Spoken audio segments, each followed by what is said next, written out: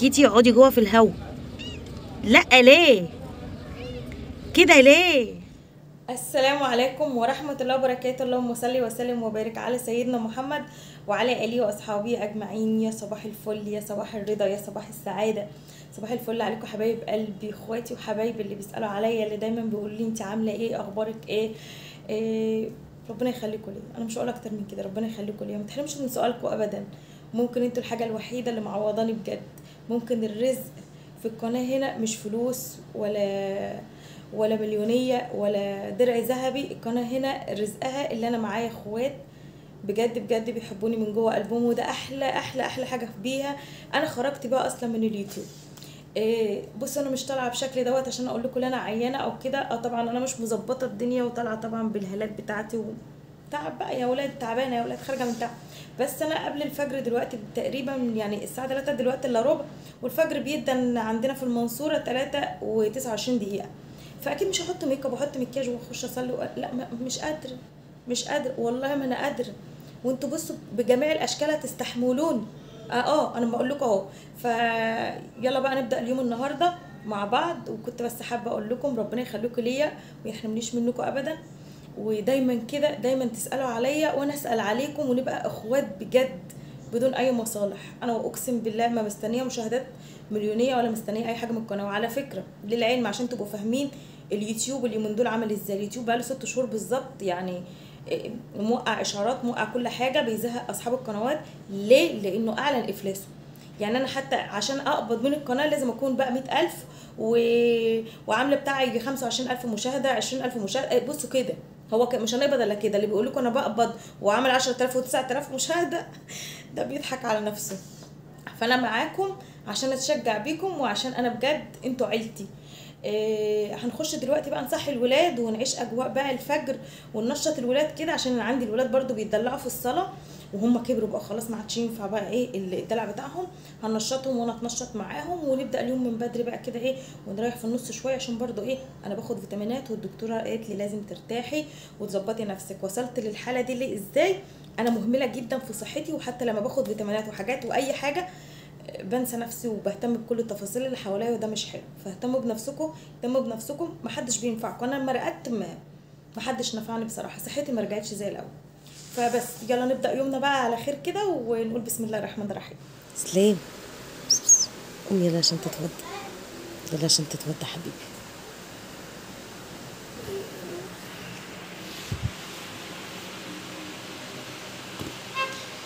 أنا بقى حبايبي مش هخبي عليكم أنا واقفة هنا مع إسلام بشاور لي طبعا على الأماكن اللي يبدأ بيها عشان هو نساي بصراحة. فكنت بفكره بالهدوء. إسلام بتعمل إيه يا حبيبي؟ ومستني إيه؟ مستني أولاد الأذان؟ مالك؟ انت لسه صاحي من النوم؟ حبيبي إياد. نعم. بتعمل إيه يا حبيبي؟ أنا قاعد بجيب شوية أدعية من على جوجل. انت بتعمل كده عشان التصوير ولا عشان نازل الجامع؟ يعني التصوير هو اللي هيوديني الجنة. برافو عليك يا حبيبي ربنا يحميك.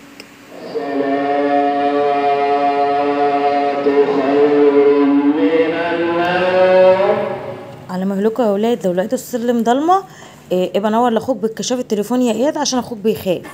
يلا أنا واقفة لكم في الشباك. قفشتك. هما نازلين يصلوا انت هنا بتعملي إيه؟ كل مرة تهربي مني وتطلعي على السطح. قفشتك دلوقتي وعرفتي انت بتخرجي إزاي.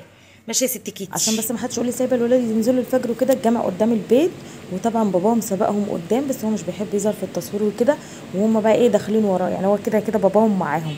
ولو ما كانش معاهم برضو الجامع قصاد البيت وأنا واقفة لهم في الشباك. وهم راجعين بقى جابوا فول وطعمية بقى. بصوا الحبشتكنات بتاعت المصريين فطار المصريين يا أولاد وخلاص على كده وهنفطر ونروح نريح شوية ونقوم الساعة 9 الصبح. زي ما أنتم شايفين قمت بقى أفوق وأروق. وكوباية القهوة للأسف أنا مش قادرة أمنعها لأني اتعودت خلاص إن أنا أشرب كل يوم قهوة. فبالنسبة لي يعني إيه هقلل في الحجم وهقلل في الكميات لكن مش هقدر أشيل قهوة من حياتي. خلاص دخلنا على كده بقى إيه كده إيه صلاة الجمعة بدأت بقى والبخور وبخروا البيت وخلي بيتكم ريحته حلوة. إيه حاطة المفرش هنا على الكنبة لأن الفترة أنا كنت تعبانة فيها ما كنتش قادرة كل يوم أقوم أشيل التراب من على الكنبة لأن أنا عندي هنا الشقة حرفيا الشبابيك بتدخل لي تراب واللون الكحلي شوية تراب عليه كده أو اللون الأسمر يا ولاد شوية تراب عليه كده بيبان عليه فورا.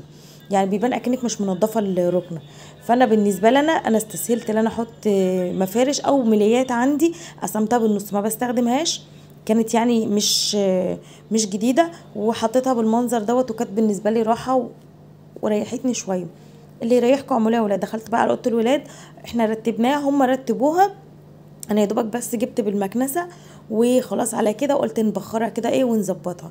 تعالوا بقى على أوضة النوم عشان في شوية حاجات عايزة أقولها لكم أنا اتعلمتها من دروس علم الطاقة جميلة جدا وأنا ناوية أغيرها معاكم وهوريكم الغلطات اللي في أوضة النوم عندي الخطيرة اللي موجودة في أوضة نومي ومخلية عندي أرق على طول وتعبانة. لو شفتوا في ركن ال- ال- المكتب بتاعي هناك طبعا اللي موجود هناك دوت ال- المرتبة الحمراء دي المفروض إن أنا كنت بلعب رياضة وبطلتها ودي برضو من ضمن الحاجات اللي تعبتني وخلتني فعلا إيه مش موزونة نهائي. اللي أنا لعبت رياضة وبطلتها. بصوا بقى الأوضة اللي فيها شباكين بتخرج مشاكلها بره. عشان كده في ناس كتير استغربت اللي أنا نقلت الدولاب مطرح الشباك اللي كان فوق السرير ونقلت السرير ناحية الباب. أيوه لأن أنا عارفة إن الأوضة اللي بشباكين المشاكل بيكتر فيها و- والزوجين بيبقوا على الخلاف على طول. دي في علم الطاقة. لو عايزيني أ- أقولها لكم باستفاضة في الفيديوهات اللي جاية هقولها لكم. ما تحطوش صوركم على التسريحة قدام المراية دي بتعكس طاقات مش حلوة. فالمفروض ان أنتوا تحطوا قدام التسريحة الفلوس دي. تحطوا فلوس قدام التسريحة ايا كانت اللي عندكم ولو بزيادة يا ريت هتعكس عندكم طاقات الرزق والحاجات دي. والله يا جماعة علم الطاقة دوت موسوعة كبيرة لو إحنا فعلا قرأنا فيها باستمتاع باستمتاع وربطناه بحياتنا. جميل جدا. ده طبعا مع الذكر والقرآن الكريم في البيت. تاني حاجة ما ينفعش تحطي أباجورة وأباجورة الناحية التانية لأ. دي بتعبر إن في مشاكل على طول بينك وبين زوجك لأن الأباجورتين دي اناره ليكوا أنتوا الاتنين. تاني حاجة الغلطة الوحيدة اللي أنا عاملاها من يوم ما عملت السرير ده إن المفروض ما نمشي على مخدة منفصلة زي ما أنتوا شايفين كده. لا أنا عاملة أربع مخدات منفصلين. المفروض في مخدة طويلة بينك وبين زوجك عشان تربط العلاقة ما بينكم وتكون العلاقة وطيدة ويكون في طاقة إيجابية بتشع من من من عند الراس وعند راسك ليه. تاني حاجة ما تحطيش براويز اللي أنا حطاها فوق دماغك دي بت بتعمل لك قلق. بمعنى إن أنت ممكن تحطي ورود عادي دي بالحياة. المية بتعبر طبعا المية وصوت المية والحاجات دي بتخليكي قلقانة. الكاميرا الفلاش بتاع الكاميرا بتديكي فلاش وتاخدي لقطة صورة. فبالتالي دي بتعبر لك إن أنت هتنامي لقطة وتقومي هتنامي لقطة وتقومي. فكل الحاجات دي برضو يعني بتخلي آرق في الأوضة ما تخليكيش عارفة تنامي الكلام ده. صورك من عند البرية شيليها لأنها بتعكس حاجات مش كويسة المفروض تشال تمام؟ الذكريات القديمة اللي إحنا دايما عايشين فيها زي صوره صورة أجدادنا ومعلقينها وصورتي وأنا صغيرة والحاجات دي والله غلط غلط. واصلا تعليق الصور حرام. بس غلط غلط فعلا. طبعا أنا بدأت معاكم الكلام هنا من ناحية أوضتي واللقطات اللي فيها لأن أنا ناوية اليومين الجايين مش هيكون روتينات روتينات عادية. هيكون روتينات روتينات غلط وصح. فهو ده اللي إحنا هنتبعه بعد كده إن شاء الله بس بطريقة وتصوير أنا لأن أنتوا عارفين ان أنا بجتهد على نفسي جدا وباخد دروس دلوقتي في المونتاج والتصوير. فبجتهد على نفسي كمان اللي أنا ما يكونش إيه، روتين الروتين اللي أنا أطلع انضف وأكنس وخلاص وهو دوت الروتين بتاعنا. لا ده مش محتوى. المفروض إحنا بيبقى في حاجات في حياتنا بنغيرها في بيوتنا بما بغض النظر إن بيتي بسيط أو بيتك آه، حلو واعلى مني في المستوى أو أقل مني في المستوى بس في غلطات في حياتنا إحنا بنعملها في بيوتنا ودي ممكن تجلب علينا طاقة النكد والحزن والمرض كمان. انت إيه اللي مقعدك هنا يا كيتي؟ جو حر عليكي. تعالي خشي يا كيتي اقعدي جوه في الهوا. لأ ليه؟ كده ليه؟ اطلعي يا كيتي. عشان خاطري يا قلبي. أيوه اطلعي. خلصنا لعب مع كيتي ونشرنا الغسيل ومعلومة كمان للغسيل بتاعك. اوعي تنشري الغسيل بتاعك بالليل وتشيليه بالليل. شيليه بالنهار وشيليه بالنهار عشان مش ناقصين عفرطة. يبقى لي فيديو خاص كده نشر الغسيل والغسيل وازاي تحافظي على ملابسك الخاصة بيكي وتعامليها معاملة كويسة جدا عشان انت تحافظي على صحتك وطاقتك. تعملي هنا إيه يا أم أياد؟ بعمل كرشة. طبعا ولادي لآخر لحظة شايفينها بانيه وكانوا مبسوطين جدا إن أنا أعمل لهم بانيه. تعملي بانيه يا ماما؟ طب اعملي جنبه مكرونة. قلت لهم لا يا أولاد نعمل رز حباية وحباية. كانوا مبسوطين ومسهلين ومش عايزة أقول لكم لآخر لحظة كانوا فاكرينه بانيه. تمام؟ هنا بعد ما غسلته بالدقيق والليمون وظبطته أحلى تظبيطة ونقطة خل وهو أصلا كان زي الفل بس أنا طبعا يعني بتفادى أي ريحة زفارة. وغسلته غسلة حلوة ونقعناه شوية في الدقيق والليمون. هنحطه دلوقتي في مية ونسلقه سلقة يعني إيه تغلي شوية كده مع نفسها لحد ما ننزل الزفار كلها اللي فيه. زي ما أنتم شايفين كده. خلاص هروح الحوض دلوقتي أصفيه وأرجع تاني هنشوف هنعمل إيه مع بعض. خلاص صفيناه وحطيناه في المصفى زي ما أنتم شايفين وحضرنا بقى إيه الرشة الجريئة بتاعته اللي هنحطها فيه. كرفس بصلاية طماطماية جزر لوري حبهان مستكة في إيه فصين توم كده محترمين وانزلي بقى بالكرشة بتاعتك تاني. كده ضمنتي إن مفيش ريحة زفارة فيها خالص والريحة كانت طعمها تجنن تجنن يا ولاد. خلصناها واستلقت وخدت سوا إلا ربع. هنعمل إيه دلوقتي؟ جبنا معلقة سمنة بلدي وبصلاية مبشورة وفلفلاية حرشة حامية كده. ونزلنا يا ولاد بيها زي ما أنتم شايفين وثلاث أربع فصوص توم مفرومين. وقلبي بقى يا ست الكل وشمي الريحة بتاعت الكرشة. حاجة تانية خالص خطيرة. بصي اطبخيها وظبطيها وما تقوليش لاولادك إن هي كرشة وشوفوا ولادك هيدوقوا طعمها ويقولوا إيه. البهارات بتاعتنا شطة فلفل أسمر كزبرة كمون أساسي لأن ال- الكرشة عايزة الكمون والملح بتاعنا وبس على كده وقلبي كويس جدا لحد ما تحسي إن خلاص كله أكل من بعضه. هتنزلي بقى بالصلصة بتاعتك وقلبي وبعدين زودي المية بتاعتك وسيبيها تاخد سوية على ميلة.